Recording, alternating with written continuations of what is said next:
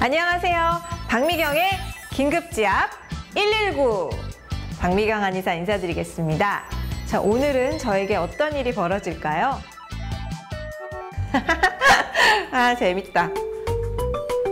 어, 아, 어, 왜 배가 아프지? 아, 오, 시원하다. 아, 잘못 먹었나? 아이. 아, 아, 아, 아, 왜 또 배가 아프지? 으. 이럴 땐 여기를 누르세요.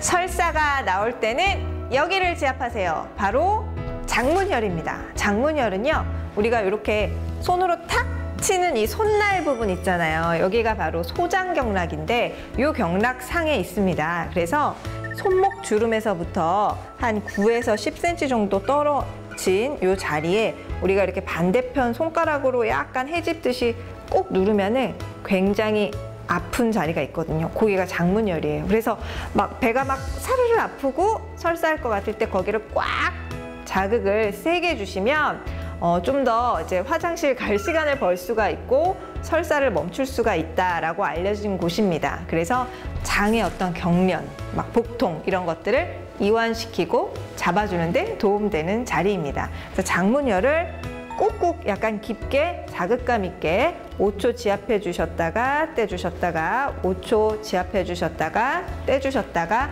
하시면 되겠습니다. 자, 그 다음으로는요.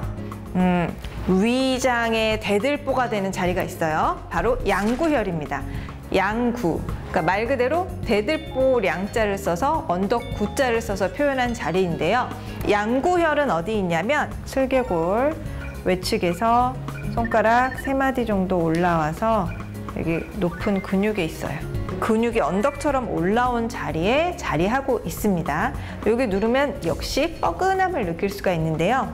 이렇게 꽉꽉 한 5초 눌렀다가 뗐다가 5초 눌렀다가 뗐다가 해주시면 돼요. 그러니까 여기는 평소에 설사를 자주 하시는 분들이 어, 계속 지압을 해주시면 굉장히 이런 설사 증상의 관리에 도움이 되는 자리고요.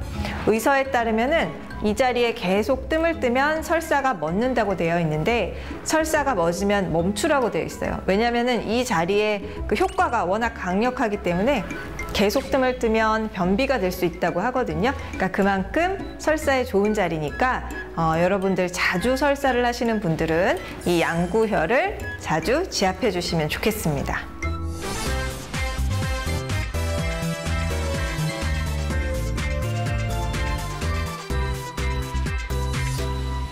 제가 박미경의 긴급지압 119에서 알려드리는 지압은 말 그대로 긴급한 상황에서 쓰는 지압법이고요. 만약에 증상이 계속되거나 몸이 불편하실 때에는 가까운 전문가를 찾아서 진단과 치료를 꼭 받으시기 바랄게요.